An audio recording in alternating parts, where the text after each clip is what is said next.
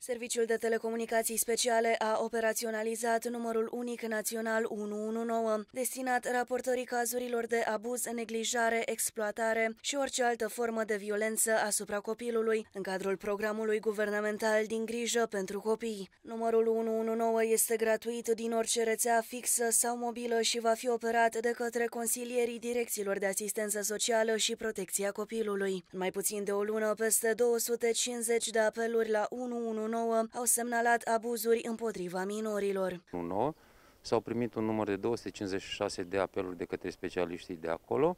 În urma procedurilor care sunt implementate de către Autoritatea Națională pentru Protecția Drepturilor Copilului, au fost evaluate un număr de 55 de cazuri de abuz în diferite forme, neglijență, violență fizică sau abuz sexual. În general, vârstele copiilor uh, care dau telefon sunt cuprinse, eu știu, între 10 și 16-17 ani. Uh, sunt foarte mulți care reclamă diferite forme de abuz, dar de asemenea primim telefoane și din partea vecinilor sau rudelor copiilor care sunt în dificultate.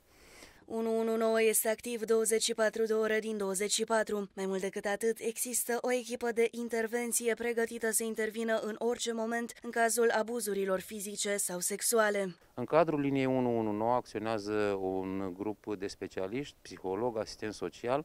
Serviciul este asigurat 24 de ore din 24, 7 zile din 7.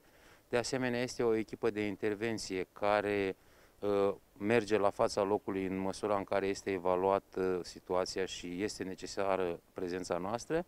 Implementarea acestui număr s-a făcut cu ajutorul Serviciului de Telecomunicații Speciale care a pus la dispoziție aparatura, a făcut training cu operatorii respectivi și care are uh, și asigură suportul tehnic și mentenanța și sperăm ca în continuare acest număr să fie de folos celor aflați în dificultate. Pentru a putea fi raportate cazurile ale căror victime sunt copii, STS a configurat, testat și implementat soluția tehnică de tip call center în cele 41 de județe ale țării, precum și în sectoarele municipiului București. Inginerii STS au instalat în cele 47 de sedii ale direcțiilor de asistență socială și protecția copilului din țară un număr de 94 de posturi telefonice, dispuse câte două în fiecare centru de preluare a apelurilor.